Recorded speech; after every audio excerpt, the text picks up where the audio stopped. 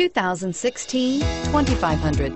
Dodge Ram 2500 is the 2010 Truck of the Year winner. It is the hardest working truck in tow business and is priced below $65,000. This vehicle has less than 100 miles. Here are some of this vehicle's great options. Anti-lock braking system, traction control, power passenger seat, steering wheel, audio controls, keyless entry, stability control, remote engine start, tow hitch, backup camera, Bluetooth. If you like it online, you'll love it in your driveway. Take it for a spin today.